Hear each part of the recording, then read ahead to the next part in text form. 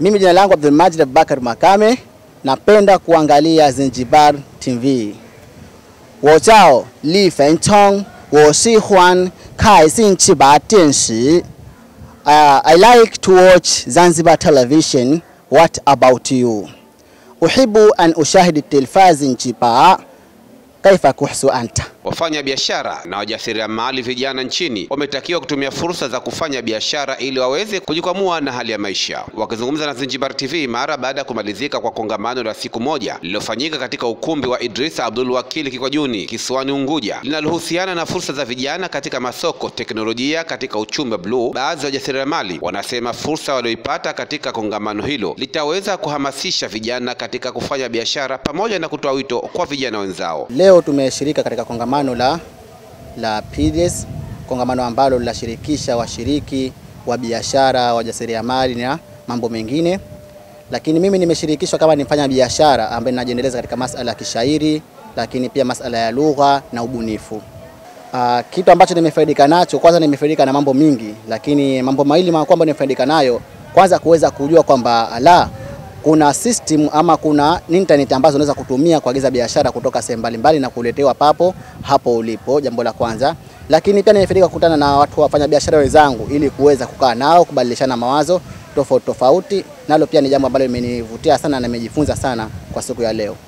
Uh, wito kwanza naiangalia jamii kwa sababu jamii ni kitu kikubwa sana, tukiangalia kama jamii kama jamii, maanake na jamii kwamba waweze kupitia hii PDOS ama kampuni nyingine yoyote ile waweze kutumia ili kuweza kujikwamua kibiashara na kuweza kujiendeleza katika kibiashara katika masuala ya kuagizia vitu katika njia ya mtandao ili kuweza kuepuka kulanguliwa ama kurubuniwa pesa zao. Tuko hapa katika, tumekuja kuhamasishana jinsi ya kufanya biashara ambazo tunafanya vijana na biashara ambazo zitatutoa kimaisha, na tumekuja hapa pia kwa lengo la kunyanyuana kwa vijana.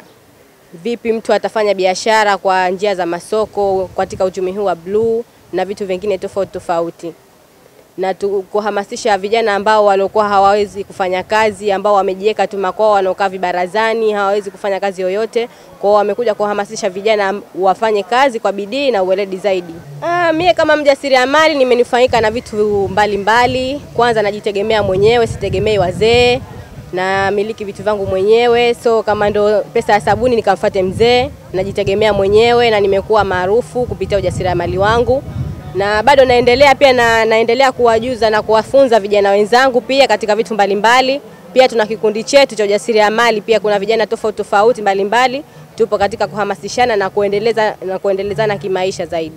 Wito kwa wajasiriamali wenzangu ambao hawajitambui na hawajui chochote, na, wa, na wahasa waje katika event kama hizi mbalimbali mbali, makongamano, waende katika mafunzo mbalimbali mbali, ambayo yatawafikisha mbali na pia watafute ambao wanajua zaidi ili wajiendeleshe zaidi na zaidi. So mtu umesomea ujasiriamali au mjasiriamali tu unaacha tu kufanya kwa kuwa huna mwendelezo, huna mtaji, ukaacha uka katika moyo. Unatakiwa wafate ambao wanajua na ambao wako juu zaidi ili wakusaidie na upate kuendelea zaidi na zaidi. Ni mjasiriamali, ni pia ni mratibu kutoka katika taasisi fulani, lakini ni mjasiriamali wa kujitegemea. Najishughulisha na masuala ya spicy, Zain Delicious masala, pia nauza cosmetics, pia natoa elimu kwa vijana kuhusiana na masuala ya kujitolea, pia na kugeuza changamoto kuwa ni fursa. Nimefurahi kweli kusema la ukweli, na nawapongeza sana Pidos kwa hichi alichokifanya, kwa sababu asilimia nyingi ya vijana wa Zanzibar wana, wanajua lakini hawana uelewa mkubwa juu ya hichi kitu, lakini furaha yangu inanipelekea kwamba ni washauri kujitoa na kusubutu ni vitu ambavyo vinaweza vikakufikisha sehemu husika katika matarajio yako ya kila siku. Ninachokitegemea kwa vijana baada ya kufunguliwa rasmi hili kongamano ni kwamba naamini watajitoa, watasubutu na wataweza, kwa sababu elimu ya kidigitali ni ndogo sana kwetu Zanzibar. Tuseme ukweli, ni vijana wachache mno, katika asilimia mia ni asilimia thelathini tu ndio anaelewa kuhusu hili swala. Lakini katika ufunguzi, matarajio yangu kwamba vijana wengi watafanya kazi kupitia digitali na kwa usahihi bila kuvuka sheria za matumizi mazuri ya digitali. Ramla Ramadhani Ameri ni afisa masoko wa PIDOS pamoja naye msoma risala Hadia Bakari Saidi, mjumbe wa PIDOS, wanaelezea kuhusiana na fursa za vijana katika kuwawezesha kufanya biashara. Leo tuko hapa katika kongamano la fursa la masoko kwa wafanya biashara, wajasiriamali pamoja na vijana wa chuo. Lengo na mazumuni la kongamano hili ni kuwafanya wafanyabiashara na wajasiriamali ili kupata masoko ya kutokana na bidhaa zao. Kama tunavyoelewa Zanzibar, Zanzibar ni kisiwa ambacho wajasiriamali wako wengi sana ambao wanaozalisha bidhaa ambazo ni asilia kabisa, lakini hakuna sehemu ambayo wataweza kupata masoko. Kwa hiyo leo kwenye kongamano hili tumekuja kuzindua platform yetu ambayo inaitwa Zanzibar Mall Com, ambayo hiyo itasaidia wajasiriamali pamoja na wafanyabiashara kutangaza na kukuza biashara zao kwa kupata masoko kupitia hiyo application yetu ambayo tumeizindua leo.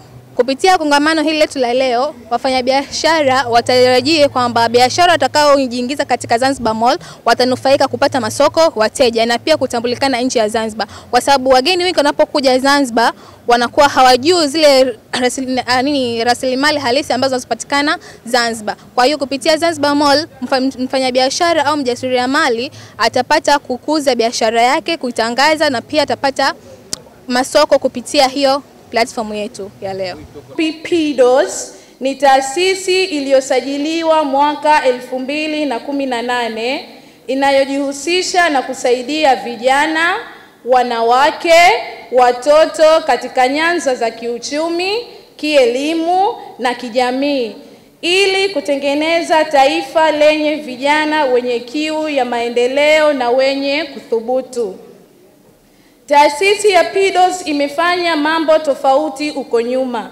Tumefanya semina mbalimbali, makongamano, mafunzo ya ujasiriamali pamoja na ziara tofauti za kiutendaji.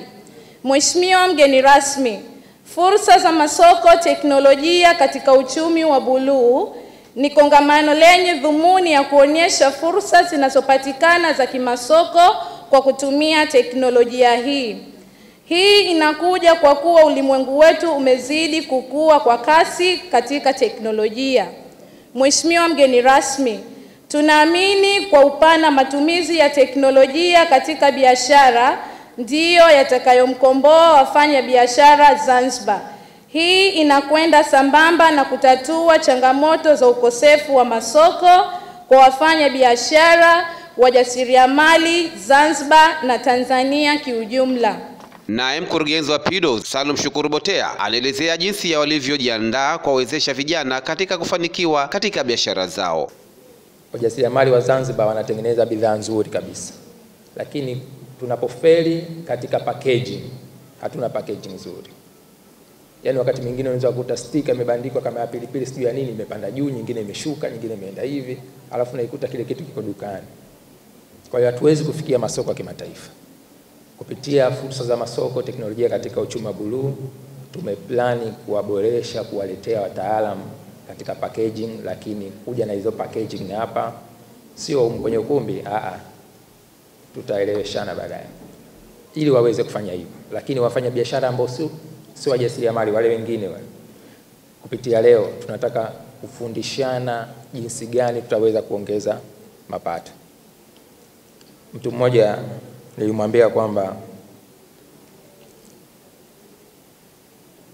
unaweza ukasema kwamba biashara yako ina chuma ulete, kumbe chuma ulete ndo wewe. Mimi siamini katika biashara kama kuna kitu kinaitwa chuma ulete, sina imani hiyo kabisa,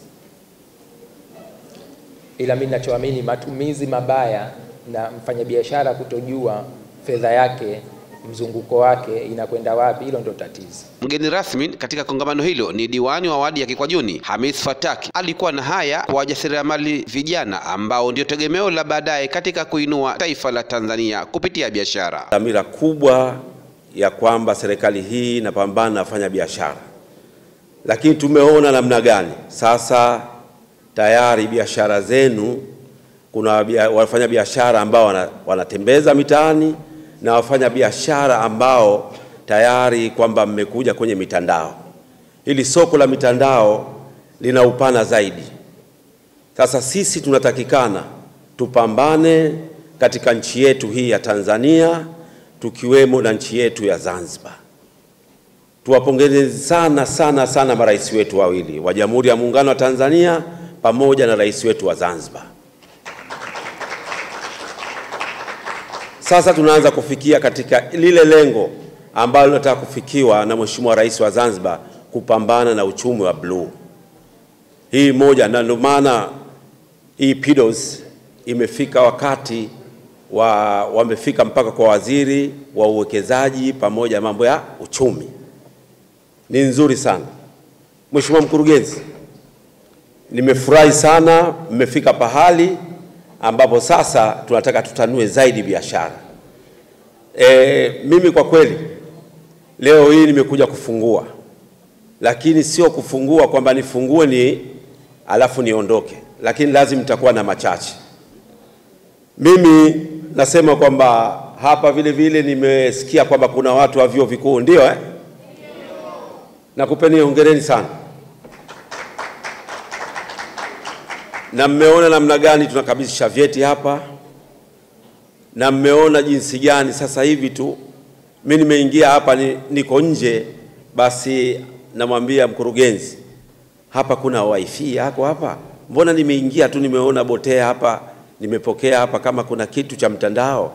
Akanambia nitakuja kukwambia baadaye, lakini sasa tunaanza kutanuka zaidi, na hilo niseme tu kwamba biashara kwenye mitandao, masoko mengi sasa hivi yamekuwa duniani, na soko hili msione kwamba labda leo kwa vijana tu, hata sisi tuliofika umri wa makamo tunachungulia kwenye mitandao.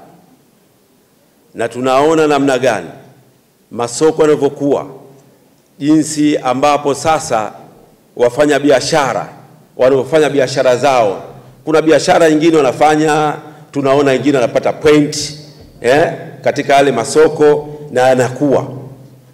Kwa hivyo ningekuomba ndugu mkurugenzi, pambana na hili kwa vile umeanza tangu elfu mbili na kumi na nane masuala haya na leo hapa umefikia wakati ushafanya makongamano mengi, umeshafanya semina nyingi. Haya ndio mapambano yanatakiwa ndani ya nchi yetu, tupambane na umaskini, na tukifika huko tutafika pahali ambapo tunapotaka sisi. Serikali hii ilipokuwa imesimama katika 2015 alipokuweko hayati Magufuli, watu walipambana mpaka akafikia uchumi wa kati. Kweli si kweli? Tulifikia uchumi wa kati.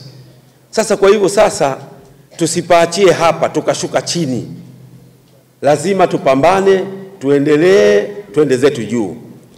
Masuala ya biashara kwenye mitandao ni muhimu sana, lakini ningeomba tu mitandao hii itumike uzuri, sababu kuna watu wana fursa nzuri tu za kutumia biashara kwenye mitandao, lakini kuna watu mitandao wanaitumia vibaya. Mimi naweza kusema kwamba mkurugenzi wangu, mimi nakufahamu na ninajua kazi yako unayoifanya. Ni mwanaharakati mkubwa sana huyu, tumpigieni makofi.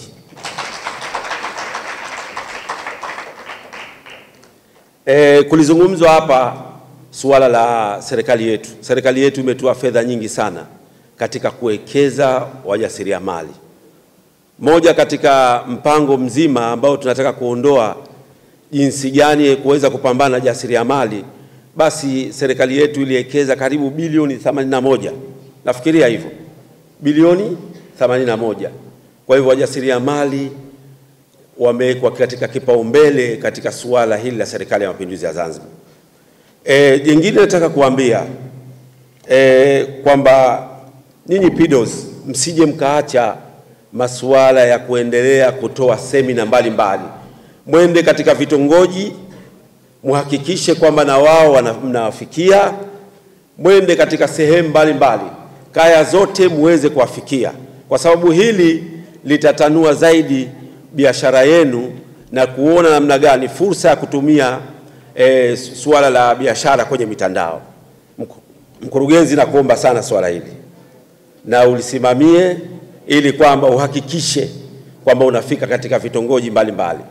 Na hii nafikiri kwamba sio hapa tu Unguja, nafikiri mmeshaenda Pemba eh, kama mtafika pahali pengine ambapo kama mtatoa elimu hii mtafika katika vijiji ambavyo va kaskazini, kusini, Pemba, kule kote. Mimi nimekwenda Pemba, basi mufike katika vitongoji mbalimbali. mbali. Hili itakuwa uzuri zaidi, kwa sababu watu wote mimi nafikiri si wote watu wanaojua, lakini elimu lazima itoke, na kama hamjatoa elimu hii, basi itakuwa bado tutakuwa pahali ambapo tunapotaka kufikia tutofikia.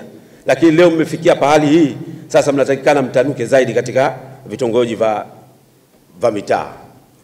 E, mimi sina mengi e, nitawashukuru sana, lakini nimesikia kuna changamoto katika masuala zaidi zaidi zaidi e, juu ya package. Ni kweli nimeona mimi watu jinsi wanao package ile, ufungaji ule wa biashara bado hatujakuwa, lakini ningeomba na mida nimesema hii changamoto mmeiona, mmekaa na waziri namna gani mtaenda kuzungumza. Waziri huyu kwa kweli tumpe sifa kubwa na tumpeni hongera sana, waziri ambaye anapambana na mambo mengi sana na vijana. Mimi niliwahi kupeleka vijana wangu katika wadi hii ya Kikwajuni, tulipokwenda basi tu alinipokelea na kwa kweli alipambana nao mpaka akawaingiza katika ile kuwapa fursa namna gani kuweza kuwawezesha wajasiriamali. Mimi kwa hayo machache sitaki kusema mengi. Leo mkurugenzi Botea amezungumza sana hapa na namna gani, basi niweze kusema rasmi kongamano hili nimelifungua, na mukae kwa pamoja, muchangie vitu vyenu, vitu vya maana vyenye uelewa.